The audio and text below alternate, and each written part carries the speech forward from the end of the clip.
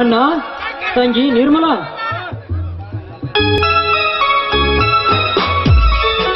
ಬಾ ಶಂಕರ್ ಏನಪ್ಪ ಶಂಕರ್, ಯಾರಪ್ಪ ಇವಳು? ಅಣ್ಣ, ಇವಳು ಬೆಂಗಳೂರಿನವಳು. ಇವಳ ತಾಯಿ ತಂದೆ ಒಂದು ವಾರದ ಹಿಂದೆ ಕಾರ್ ಅಪಘಾತದಲ್ಲಿ ತೀರಿ ಹೋದರನ್ನ ಅಯ್ಯೋ, ಶಿವ ಶಿವ ಎಂತ ದುರ್ದೈವ. ಇಲ್ಲಿ ಯಾರಾದರೂ ಪರಿಚಯದವರು ಇದ್ದಾರೇನಪ್ಪ? ಇದ್ದಾರೆ ಅಣ್ಣ. ಈ ನಿವೇದಿತಾಳ ತಾಯಿ ತಂಗಿ ಇಲ್ಲಿ ನಮ್ಮ ಪಕ್ಕದೂರಿನವಳು. ಅವರ ಮನೆಯಲ್ಲಿ ಇರಬೇಕೆಂದು ಬರುವಾಗ? ಬರುವಾಗ ಏನಾಯ್ತಣ್ಣ? ಕಾಮ ಕ್ರೋಧ ಮಸ್ತರ ಹೆಚ್ಚಾದ ಒಂದು ಕಾಡು ಮೃಗ.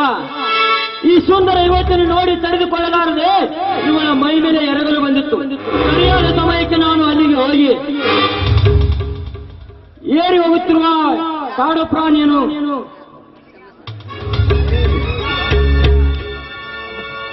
ಇವಳ ಮಾನ ಪ್ರಾಣವನ್ನು ಕಾಪಾಡಿಕೊಂಡು ಬಂದೆ ಶಂಕರ್ ಅಂತ ಕ್ರೂರ ಪ್ರಾಣಿ ಊರೊಳಗೆ ಬಂದಿದ್ದಾರಪ್ಪ. ಕ್ರೂರ ಪ್ರಾಣಿಗಳನ್ನು ಬಡವರ ಬಂದು ದೀನ ದಲಿತರ ಉದ್ಧಾರಕ ಪ್ರಜೆಗಳ ಸೇವಕ ಎಂದು ಎಂದು ಹತ್ತಾರು ಗ್ರಹಗಳನ್ನು ಕೊಟ್ಟು ಹತ್ತು ಹೈವಾನ ನಡೆಸಿಕೊಂಡ ಈ ಊರ ದೇವೇಗೌಡನ ಕಾಯಕವಿದು ಶಂಕರ್ ಏನು ಹೇಳ್ತಿದ್ದೀಯ ನೀನು? ಸುತ್ತು ಹತ್ತು ಹಳ್ಳಿಯ ಜನ ದೇವರು ಅಂತ ಎನಿಸಿಕೊಂಡ ಆ ದೇವೇಗೌಡರು ಹೆಣ್ಣಿನ ಮೇಲೆ ಏರಿ ಬಂದರೇನಪ್ಪ? ನೀನು ಹೇಳಿದ್ರು ನಿಜವಾ ನಿಜವನ್ನ ನಾನೇಕೆ ಸುಳ್ಳು ಹೇಳಲಿ? ಇವಳು ಬಸ್ ಇಳಿದು ಆಟೋ ನೋಡಲು ಮುಂದೆ ಬಂದಾಗ ಇವಳಿಗೆ ಗಣ್ಣು ತೋರಿಸಿ ಎದರಿಸಿ ಮುಂದಕ್ಕೆ ಅಟ್ಟಿಸಿಕೊಂಡು ಬಂದು ಯಾರೂ ಇಲ್ಲದ ಜಾಗದಲ್ಲಿ ಬಲತ್ಕರಿಸಲು ಸಿದ್ಧವಾಗಿದ್ದ. ಸಮಯಕ್ಕೆ ಸರಿಯಾಗಿ ನಾನು ಅಲ್ಲಿಗೆ ಹೋಗಿ ಏರಿ ಹೋಗುತ್ತಿರುವ ಗೌಡನ ಎದೆಗೆ ಒದ್ದು ಉತ್ತರದ ಪ್ರತಿ ಉತ್ತರವನ್ನು ಕೊಟ್ಟು ಇವರ ಮಾನ ಪ್ರಾಣವನ್ನು ಕಾಪಾಡಿಕೊಂಡು ಬಂದೆ ಎಂತ ಜನಪ್ಪ ಈಗಿನ ಕಾಲದಲ್ಲಿ ಯಾರನ್ನು ನಂಬಬೇಕು, ಯಾರನ್ನು ಬಿಡಬೇಕು ಎನ್ನುವುದೇ ಗೊತ್ತಾಗುವುದಿಲ್ಲ. ನೋಡಮ್ಮ, ಆ ಗೌಡ ಈ ರೀತಿ ಮಾಡಿದಕ್ಕೆ ನೀನೇನು ಭಯ ಪಡಬೇಡ ನಿನ್ನ ಸಹಾಯಕ್ಕೆ ನಾವು ಇರ್ತೇವೆ ನಡಿಯಮ್ಮ, ನಿನ್ನ ತಾಯಿ ತಂಗಿಯರ ಮನೆಗೆ ಕಳಿಸಿ ಬರ್ತೇನೆ. ಏನಂತ ಹೇಳ್ಬೇಕು? ನಾನು ಅವ್ರ ಮನೆಗೆ ಹೋಗ್ಬೇಕು ಅಂತ. ನಾನು ಶಂಕರ್ ಕೂಡ ಅಲ್ಲಿಗೆ ಹೊರಟಿದ್ವಿ ಆದ್ರೆ ಮನೆ ನಡೆದ ರೈಲು ದುರಂತದಲ್ಲಿ ಅವರೆಲ್ಲ ತೀರ್ಕೊಂಡು ಹೋದ್ರು. ಇನ್ನು ಮುಂದೆ ನನಗೆ ಯಾರು ನಾನು ಅನಾಥ ಏಕೆ ಅಳಬೇಡಮ್ಮ, ಅಳಬೇಡ. ನಿನಗೆ ಅನಾಥಳ ಅಂತ ಯಾರು ಹೇಳಿದರು? ನಿನ್ನ ಬಂಧು ಬಾಂಧವರಿಗೆ ಇನ್ನು ಮುಂದೆ ನಾವು ಇರ್ತೇವೆ ಆ ವಿಧಿ ನಿನ್ನ ಸಂಬಂಧಿಕರೆಲ್ಲ ಕಸಿದುಕೊಂಡು ಹೋಗಿರಬಹುದು ಆದರೆ ಆ ವಿಧಿಗೆ ಸವಾಲು ಹಾಕಿ. ನಿನ್ನ ಹೆತ್ತ ತಂದೆ ತಾಯಿ, ಅಣ್ಣ ತಮ್ಮಂದಿರ ತೋರಿಸಿದ ಪ್ರೀತಿ ವಾತ್ಸಲ್ಯವನ್ನು ನಾವು ತೋರಿಸುತ್ತೇವೆ. ಆದರೆ ಒಂದು ಮಾತಮ್ಮ ನಾ ಕೇಳುವ ಮಾತಿಗೆ ನೀನು ಬೇಜಾರಾಗಬಾರದು. ಇಲ್ಲ ಏನಂತ ಹೇಳಿ? ನೋಡಮ್ಮ ಪೂರ್ಣ ಪರಿಚಯ ಇಲ್ಲದ ಹೆಣ್ಣನ್ನು ಈ ಮನೆಯಲ್ಲಿಟ್ಟುಕೊಂಡರೆ ಈ ಸಮಾಜ ನೂರೊಂದು ಮಾತನಾಡುತ್ತದೆ. ಅದಕ್ಕೆ ಭಾಗ್ಯಲಕ್ಷ್ಮಿಯಾಗಿ ನೀನು ನಮ್ಮ ಮನೆಗೆ ಸಿಕ್ಕಿದ್ದೀಯಾ? ತಂಗಿಯಾಗಿ ಸ್ವೀಕರಿಸಿದರೆ ಒಂದಲ್ಲ ಒಂದು ದಿನ ಕೊಟ್ಟ ಮನೆಗೆ ಹೋಗುತ್ತೀಯಾ? ಆಗ ಅದಕ್ಕೆ ಈ ಶಿವಶಂಕರನ ಮನೆಯ ದೀಪವನ್ನು ಬೆಳಗುವುದಕ್ಕೋಸ್ಕರ ಜೀವನ ಪೂರ್ತಿ ನನ್ನ ಶಂಕರನು, ನಮ್ಮ ತಮ್ಮ ಶಂಕರನು ನೀನು ಪತಿಯನಾಗಿ ಸ್ವೀಕರಿಸಿನಂತ ಕೇಳಿದ್ರಮ್ಮ. ಮಾವ, ಈ ನಿಮ್ಮ ಮಾತಿಗೆ ನಾನೇನಿಂದ ಉತ್ತರ ಕೊಡಬೇಕು? ನೀರಿನಲ್ಲಿ ಮುಳುಗುತ್ತಿರುವವರಿಗೆ ಹುಲ್ಲು ಕಡ್ಡಿ ಆಶ್ರಮಂತೆ ಯಾರಿಲ್ಲದ ನನಗೆ ನೀವು ಆಸರೆ ಕೊಡ್ತೀನಿ ಅಂತ ಹೇಳಿದ್ರಲ್ಲ, ಈ ನಿಮ್ಮ ಮಾತಿಗೆ ನಾನು ತುಂಬಾನೇ ಸಂತೋಷ ಪಡ್ತೀನಿ ಆದ್ರೆ ನನ್ನನ್ನು ಮದುವೆ ಆಗೋದಕ್ಕೆ ಇವ್ರು ಒಪ್ಪಬೇಕಲ್ಲ ನನ್ನನ್ನ ಒಪ್ಪಿಗೆ ಕೊಡುವುದಿಲ್ಲ ಅಂತ ಹೇಳ್ತಾ ಇದ್ದೀರಾ? ಖಂಡಿತವಾಗ್ಲೂ ನಿಮ್ಮ ಕೈ ಹಿಡಿಯುವುದಕ್ಕೆ ನನ್ನನ್ನ ಒಪ್ಪಿಗೆ ಕೊಟ್ಟೆ ಕೊಡುತ್ತಾನೆ. ಅಣ್ಣ ಕಳ್ಳನ ಮನಸ್ಸು ಹುಳ್ಳುಗೇನೋ ಹಾಗೆ ಸುಮ್ಮನೆ ನಿಂತ್ಕೋಬೇಡ. ಅತ್ತಿಗೆ ನಿನಗೆ ಒಪ್ಪಿಗೆ ತಾನೆ. ಏ ಕಳ್ಳಿ ನಾನೆಂದವರು ಅಣ್ಣನ ಮಾತು ಮೀರಿನ?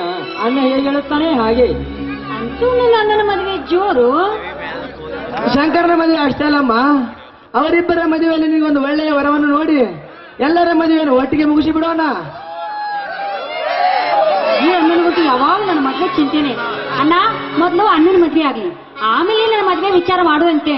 ಅಣ್ಣ ಹೊಟ್ಟೆ ತುಂಬಾ ಹಸಿತಾ ಇದೆ.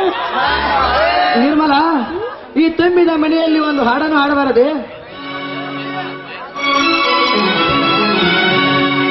ಕಾಲ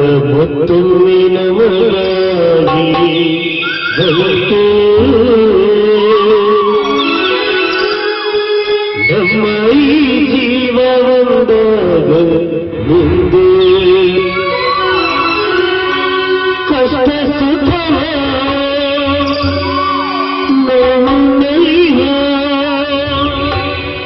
എല്ലാ ജീവന കൃണിയോ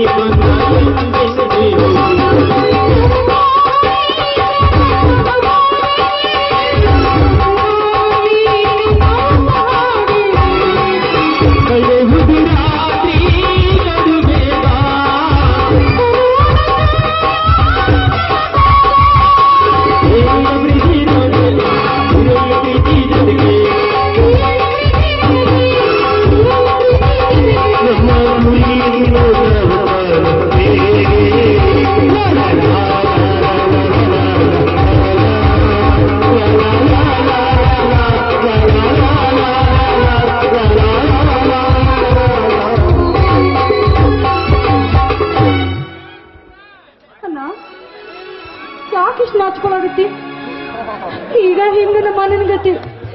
ಅಣ್ಣ! ತಂಗಿ. ಏನನ್ನ ಈಗಿನ ಕಾಲದಾಗ ನೀ ಇಷ್ಟು ಸ್ಲೋ ಅದೀಯ ಅತ್ತಿಗೇನು ನಾಚ್ಕೋವಾಳ ನೀ ಎಷ್ಟು ನಾಚ್ಕತ್ತಿಲ್ಲ ಅಣ್ಣ ನಿಜವಾಗ ನೀನು ಪ್ರೀತಿ ಮಾಡಿದೆ ಅನ್ನ ಪ್ರೀತಿ ಮಾಡಿದೆ? ಇಲ್ಲಮ್ಮ ತಂಗಿ ಇಬ್ಬರು ಕೂಡಿ ಪ್ರೀತಿನೇ ಮಾಡಿದ್ದೀವಿ ಈಗ ನೋಡಿದ್ರೆ ಹಂಗೇನು ಅನ್ಕೊಂಡ ನನಗೇನ? ಅಣ್ಣ ಅಣ್ಣ ಹೊಟ್ಟೆ ಹಸಿ ಹೋಗಿತ್ತು ನಡಿ ತಂಗಿ ಎಲ್ಲರೂ ಕೂಡಿ ಊಟ ಮಾಡೋಣ. ನಡಿಯಣ್ಣ ನಾವು ಅಡುಗೆ ಮಾಡಿಲ್ಲ. ಹಂಗೇನೋ ಗುಡಿಯಾಗ ಹುಗ್ಗಿ ಅನ್ನ ಸರ್ ಆಯ್ತು ಅಂತ ಅಲ್ಲೇ ಊಟಕ್ಕೆ ಹೋಗೋಣ